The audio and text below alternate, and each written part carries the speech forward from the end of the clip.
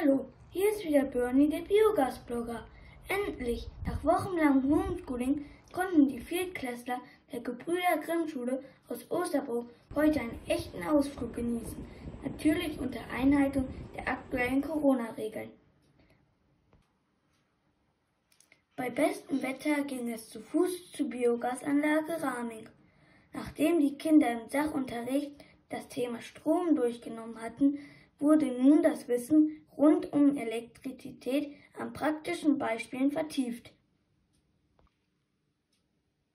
Dabei ging es auch um die Stromerzeugung aus erneuerbaren Energieträgern. Hierbei wurde den Kindern vor Ort die Gewinnung von Strom aus Biomasse erläutert.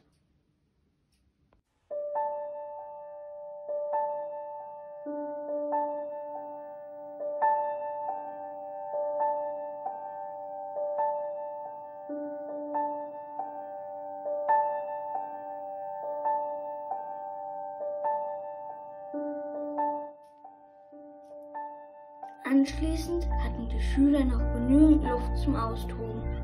Nach so langer Zeit war dieser Vormittag eine willkommene Abwechslung zum Corona-bedingten eingeschränkten Schulbetrieb. Danke an alle Beteiligten. Euer Bernie, der Biogasblogger.